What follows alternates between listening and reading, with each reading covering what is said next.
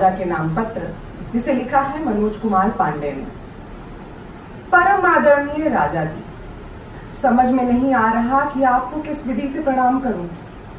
आदर प्रकट करने के सभी तरीके इतने पुराने और अपर्याप्त हो चुके हैं कि अब समय आ गया है कि कुछ नए तरीके खोजे जाएँ। ये क्या बात हुई कि उन्हीं घिसे पिटे तरीकों से आपकी भी वंदना की जाए, जिन तरीकों से पिछले राजा का अभिवादन किया जाता था?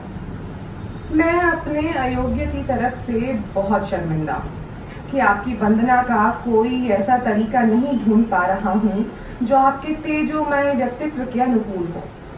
पर आप ये बात भी तो मानेंगे कि मैं आपके द्वारा ही सौंपे गए दूसरे काम में पूरी तरह से लगा हुआ था। वो काम पूरा हो गया है।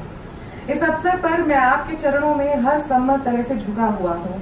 कृपया मेरा कोटि कोटि प्रणाम स्वीकार करें। और अपनी परम कृपा इस दास पर बनाए रखें। महामहिम, आपको याद ही होगा कि आपने हमें किसानों की आत्महत्या के संदर्भ में सही तथ्यों की खोज करने का आदेश दिया था। आपके आदेश का दिन है और आज का दिन। इस बीच में हम पल भर को भी चैन से नहीं बैठे, हम किसी भी ऐसी समस्या को हल्के में कैसे ले सकते हैं फ़ोन में यही गड़बड़ हाँ। मैं नोट्स को मतलब फ़ोन में कभी नहीं करती हूँ मुझे इसको में डालना पड़ेगा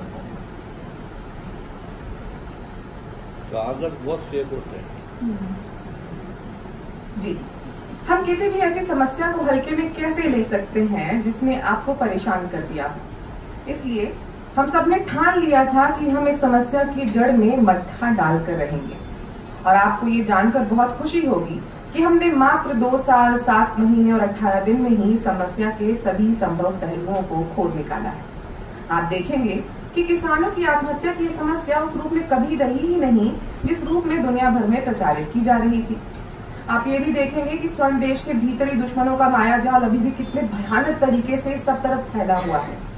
हम सबका मानना है कि इस माया जाल को छिन्न भिन्न करने की सामर्थ्य सिर्फ़ और सिर्फ़ आप में है। हे महामहिम इस माया जाल को शीघ्र अतिशीघ्र ध्वस्त करें और अब हमें उस विषय पर आने की अनुमति दें जिसके लिए आपने आदेश दिया था। यहाँ मैं संक्षेप में आयोग की कार्य प्रणाली और अपने निष्कर्षों को आपके चरणों में रख रहा हूँ। आयोग के अध्यक्ष के रूप में मेरी पूरी कोशिश है कि इस पत्र में मैं उन सब चीज़ों को कम से कम शब्दों में समेट पाऊँ, जो कि हमारी रिपोर्ट में दर्ज हुई है। ये रिपोर्ट कुल दस हज़ार एक सौ तेरह पृष्ठों की है। साथ में करीब सवा लाख पृष्ठ संलग्न के गए हैं। पर आपको हमारी मेहनत का अंदाज़ा सिर्फ़ रिपोर्ट के पृष्ठों की संख्या से नहीं होगा। समय बचाने के लिए की गई हवाई यात्राओं, देश भर में फैले हुए होटलों के खर्चों, तथा किराए पर लिए गए हेलीकॉप्टरों के बिल भी आपको काम के प्रति हमारी निष्ठा और मेहनत के बारे में बताएँगे। आप देखेंगे कि आपके आदेश के अनुपालन में हम पूरे देश में धूल फांकते फिरे हैं। इस बीच आपकी दैवीय ऊर्जा और हमें दिखाया गया विश्वास ही हमारी प्रेरणा के एकमात्र स्रोत रहे। इस विषय पर काम करते हुए सबसे पहले हमारा ध्यान इस तथ्य की ओर गया कि पाठ्य पुस्तकों में हम अपने बचपन से इस बात पर निबंध लिखते हुए बड़े हुए हैं कि स्वर्ण देश एक कृषि प्रधान देश है। यानी कि एक ऐसी बात थी जिसे सब मानते थे कि स्वर्ण देश किसानों का देश है। ये कोई ऐसी बात नहीं थी कि इस पर गर्व किया जाए, पर पहले ये बात गर्व करने की मानी जाती थी। लोग इस बात पर गर्व करते थे कि वो किसान हैं। उन पर फ़िल्में बनाई जाती थी। उनकी तारीफ़ में कविताएँ लिखी जाती थी। यहाँ तक कि उन पर कुछ उपन्यास भी लिखे गए। एक भूतपूर्व राजा ने तो अपने नारे में उनको सैनिकों के समकक्ष रख दिया। बताइए कि इतना सब कुछ होता रहा, पर किसी ने ये जानने की कोशिश तक नहीं की कि क्या स्वर्ण देश सचमुच किसानों का देश है? हमने अपने काम की शुरुआत इसी सवाल के साथ की। तब अगला सवाल हमारे सामने ये खड़ा हुआ कि हम किसान भला किसको कहेंगे? क्या जितने लोग खेतों में या गाँव में दिखाई देते हैं, सबके सब किसान ही हैं? दूसरी क्या, किसान कोई जाति है कि हम किसान के बेटे को भी किसान कहें? क्या किसान की पत्नी को भी किसान माना जाता है? आप सोचिए कि वो तो उनको भी किसान मान ले रहे हैं, जिनके पास ज़मीन का बिस्वा तक नहीं है। और फिर मान लीजिए कि कोई किसान है ही। तो क्या वो सिर्फ़ किसानी से पैदा हुई समस्याओं से परेशान होकर आत्महत्या करेगा? क्या किसान अमर होकर आया है कि वो कभी मरेगा ही नहीं?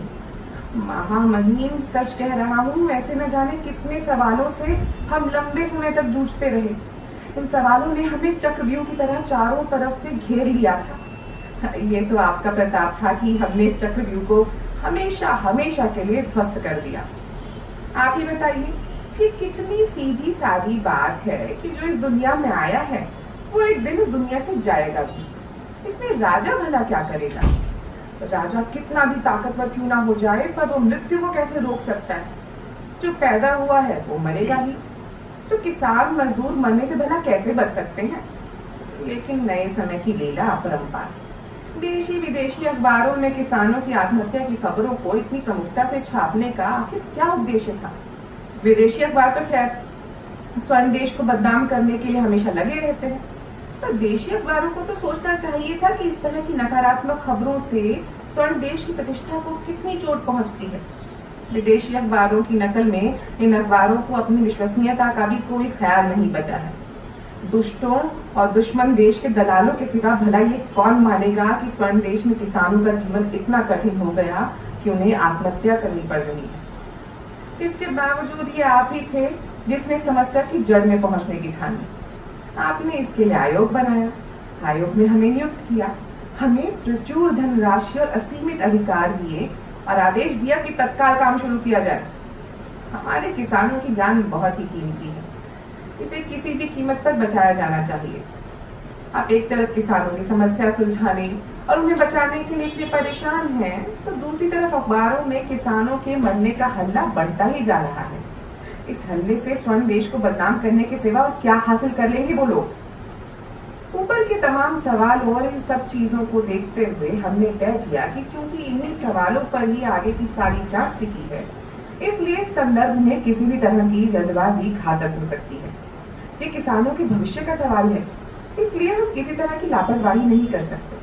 हमने तय किया है कि सबसे पहले हम इस बात का पता लगाएँगे कि इस देश में किसानों की वास्तविक संख्या कितनी है और उन्हें किसान माने जाने का आधार क्या है। हमने तय किया कि हम ये भी देखेंगे कि क्या हम प्रचलित पूर्वाग्रहों के आधार पर ही अपनी रिपोर्ट बनाएँगे या इसके लिए हम अपने कुछ निजी आधार प्रस्तावित करेंगे। सबसे पहले हमने ये देखने की कोशिश की कि सचमुच का किसान होने का आधार क्या है। हमने किसानों पर बनी तमाम देशी विदेशी फ़िल्में देखी। किसानों को केंद्र में रख कर के रचे गए साहित्य को उल्टा पलटा। देश की पाठ्य पुस्तकों में किसानों की जो छवियाँ हैं, उनका फिर से अध्ययन किया। और इन आधारों पर हमने किसानों की पहचान के कुछ बिंदु निर्धारित किए। और तब हमने पाया कि जिसकी आँखों में कीचड़ नहीं है, वो किसान नहीं है। जो साफ़ कपड़े पहनता है और अच्छा खाता पीता है, वो किसान नहीं है। जो रेल में स्लीपर से चलता है, वो भी किसान नहीं है। और एसी में चलने वाला तो किसी भी कीमत पर किसान होने की संभावना से ही रहेगी। उसे ज़रूर किन्हीं देश विरोधी तत्वों से धन मिल रहा है। असलियत तो ये है कि किसान कभी ट्रेन के जनरल डब्बों में भी नहीं चढ़ता। उससे इतनी दूर कहीं जाने की ज़रूरत ही नहीं होती। और अगर कभी किसी वजह से जाना भी हुआ तो पैदल या बैलगाड़ी से जा सकता है। महामहिम मैं इन चीज़ों पर इतना ज़ोर इसलिए दे रहा हूँ कि स्वर्ण देश की राजधानी सहित तमाम जगहों पर जो लोग किसान बनकर धरना प्रदर्शन कर रहे हैं और देश को बदनाम कर रहे हैं, वे किसान नहीं है, बाकी चाहे जो भी हो। इस बिन मांगी राय के लिए माफ़ करें तो कहूँ कि लोगों को पकड़वा कर डंडा परेड कराई जाए। तो ऐसी तमाम जानकारियाँ सामने आ सकती हैं, जिनकी रोशनी में ये आयोग अपनी रिपोर्ट को और बेहतर बना सकता है। इस जाँच के दौरान विश्वस्त सूत्रों से हमें ज्ञात हुआ कि ये वही लोग हैं जो देश को और इससे भी ज़्यादा महामहिम को बदनाम करने के लिए दुश्मनों से मिले हुए हैं। यही बात हम तमाम अखबारों के लिए भी कहने जा रहे हैं। आपको तो पता ही होगा कि देश के अनेक अखबारों ने इस आशय की खबरें छापी, कि किसान अपनी फ़सलों को खेतों में ही चढ़ा दे रहा है। वो मेहनत से तैयार की गई फ़सलों में आग लगा दे रहा है। वो सब्जियों और सड़कों से, फलों से सड़क पाट दे रहे हैं कि उन्हें मुफ़्त बांट रहे हैं। हुजूर, ये असंभव स्थितियाँ हैं। कुछ भी हो जाए पर एक किसान अपने ही खेत में आग नहीं लगा सकता। वो अपने खून पसीने की कमाई को खेतों में पानी भरकर नहीं जला सकता। और अगर वो इतना ही विपन्न है तो खेतों में पानी भरने का पैसा आखिर कहाँ से आ रहा है उसके पास? हुजूर, कहने की इजाज़त दे तो कहूँ कि सच्चा किसान खुद को भले जला ले पर अपनी फ़सल को नहीं जला सकता। और आप तो जानते ही हैं कि एक भी किसान ने खुद को जलाकर आत्महत्या नहीं की। खबरों के अनुसार जिन्होंने की, वो या तो पेड़ों से लटके हैं या फिर उन्होंने कीटनाशकों का उपयोग किया है। दरअसल, बहुत सारी भ्रामक स्थितियों ने मिलकर इस समस्या का निर्माण किया है। जिसके पास ज़मीन ही नहीं है, वो किस तरह का किसान? ज़मीन किसी एक के नाम है, पर परिवार में कोई भी मरे तो कहेंगे कि किसान ने आत्महत्या की। ये गलत चलन है। हमें इसे खत्म करना चाहिए।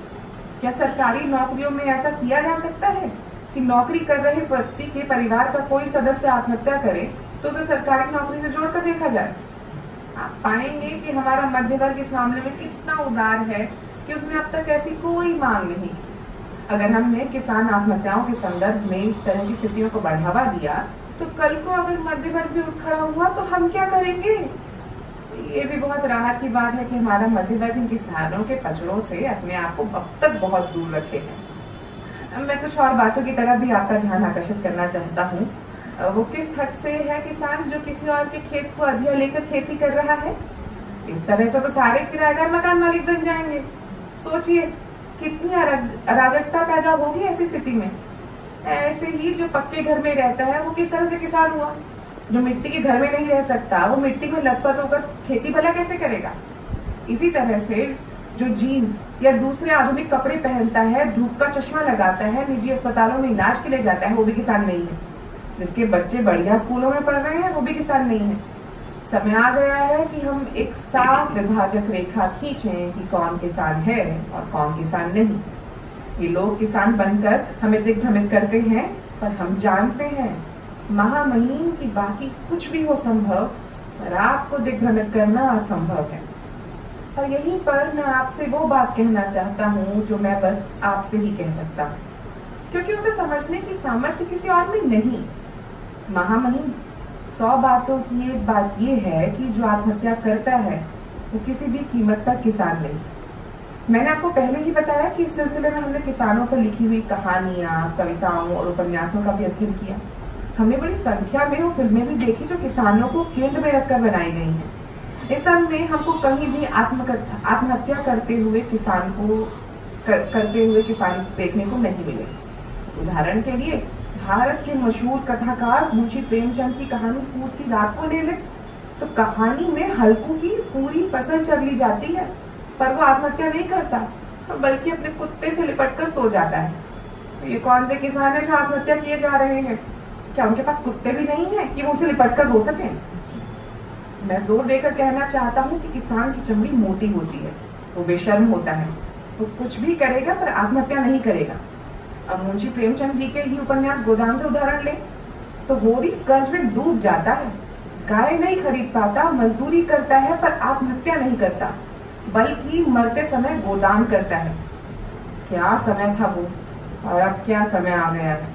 मैं समझता हूँ कि अब तक आप समझ चुके होंगे कि किसान आत्महत्या की बात खुरापाती दिमागों की उपज है, जिन्हें दुश्मन देशों की शह मिली हुई है। आप जानते ही हैं कि दुश्मन देश हमारे गौरवशाली इतिहास से जलते हैं। वे हमारी समृद्धि से जलते हैं, वे हमारी सामरिक ताकत से जलते हैं। और तो और अब वो इस बात से भी जलते होंगे कि उन्हें ऐसा प्रतापी राजा क्यों नहीं मिला जैसा कि आपके रूप में हमें मिला? पर यूँ जलते रहने से क्या हो जाता है आप हालाँकि हमारा काम अब समाप्त हो चुका है। पर अपने देश को प्रेम करना और उसके लिए जान लड़ा देना हमने आपसे ही सीखा इसलिए हमने इस मसले पर भी गौर किया कि अगर किसान आत्महत्या नहीं कर रहे हैं तो जो मर रहे हैं वो है कौन? वो अभागी कौन है जो आत्महत्या पर आत्महत्या किए जा रहे हैं?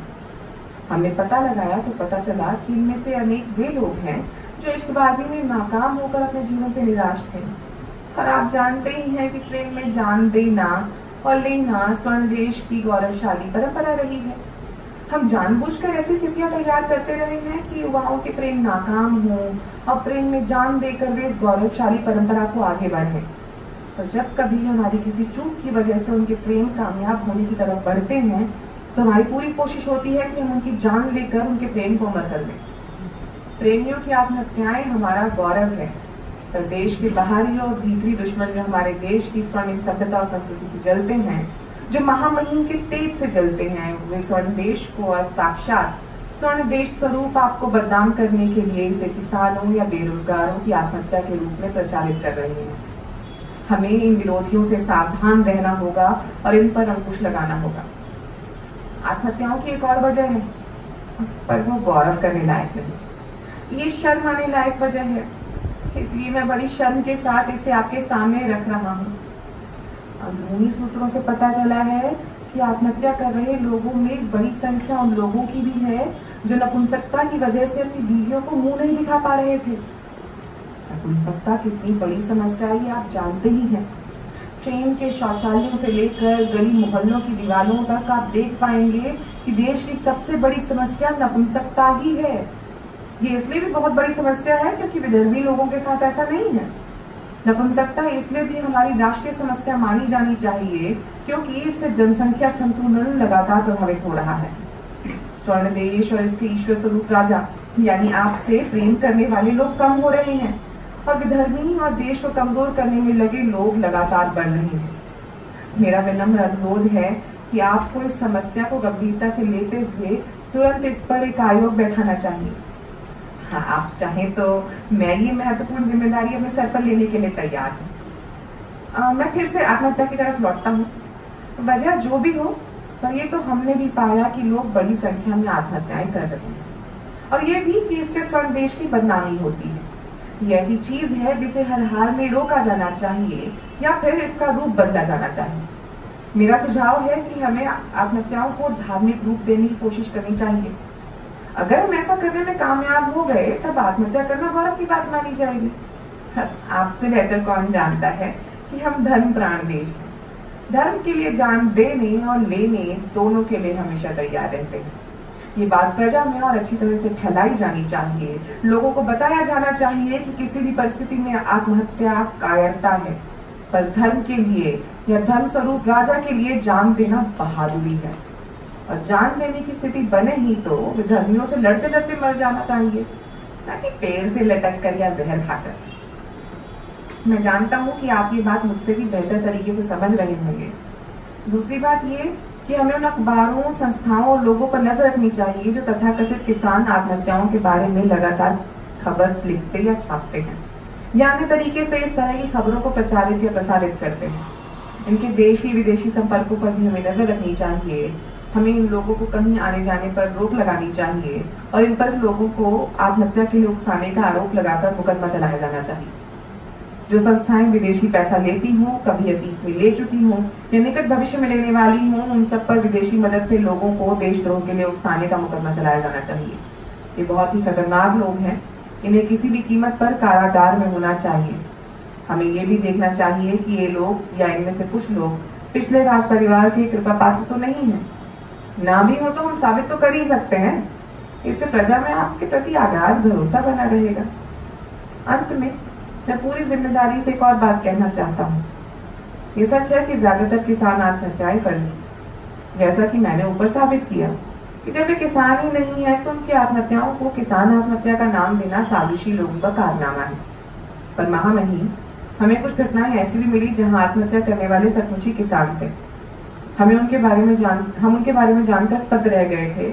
क्योंकि अगर एक भी किसान कहीं मरता है तो उसकी ज़िम्मेदारी हमारे दयालु और परोपकारी राजा पर आती है। और हम क्या जानते नहीं कि आप किसानों के लिए कितने चिंतित रहते हैं? तभी तो आपने ये आयोग बनाया है। कुटिल और साजिशी लोग कुछ भी कहें, पर हम जानते हैं कि आपने किसानों को असीमित सुविधाएँ दे रखी हैं।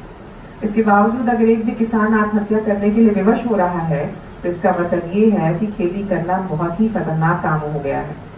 यह आयोग भी इसी नतीजे पर पहुँचा है। ऐसे में ज़रूरत है कि स्वर्ण देश की प्रजा के हित में तुरंत ही कुछ कड़े कदम उठाए जाएँ। आपने मुझे जो ज़िम्मेदारी दी है, उसका पालन करते हुए मैं कुछ सुझाव आपके श्री चरणों में रखना चाहता हूँ। आयोग का पहला सुझाव ये है कि महामहिम को तत्काल प्रभाव से किसानों के खेती करने पर प्रतिबंध लगा देना चाहिए। हम अपने प्यारे देशवासियों की जान जोखिम में नहीं डालना चाहते। ये एक ऐसा कदम है जिसके लागू होते ही किसान आत्महत्या की समस्या हमेशा हमेशा के लिए समाप्त हो जाएगी। किसानों को तुरंत ये कदम भले ही कड़वा लगे, पर जल्दी ही वे इस फैसले को वैसे ही सराहेंगे जैसे कि आपके पिछले कड़े फैसलों को सराहते आए हैं। अब सवाल ये है कि अगर किसान खेती नहीं करेंगे तो स्वर्ण देश की प्रजा के का पेट कैसे भरेगा? और हम उस ज़मीन का क्या करेंगे जो खेती न करने से खाली पड़ी रहेगी? महामहिम हमारा दूसरा सुझाव ये है कि आपको किसानों से उनकी सारी ज़मीन ले लेनी चाहिए। किसानों को तुरंत बुरा ज़रूर लगेगा, पर वे जल्दी ही इस बात को समझेंगे कि ज़मीन रखना कितने खतरे की बात थी। और वो खतरा उन पर से हमेशा के लिए टल गया है जो आत्महत्या के लिए उनके सिरों पर मंडराता रहता था।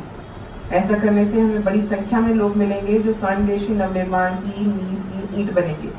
खेती जैसे अनुत्पादक काम से मुक्त होकर उनकी सारी ऊर्जा जब देश के नवनिर्माण में लगेगी तो आप सोचिए कि आपका वो प्यारा स्वर्ण देश जिसके उत्थान के लिए आप हमेशा चिंतित रहते हैं, कितनी जल्दी सचमुच के स्वर्ण में बदल जाएगा। हमारा तीसरा सुझाव ये है कि किसानों से ली गई सारी की सारी ज़मीन आपके प्रिय धन्ना सेठ को सौंप दी जाए और उनसे अनुरोध किया जाए कि वे किसानी का दायित्व भी अपने ऊपर ले लें।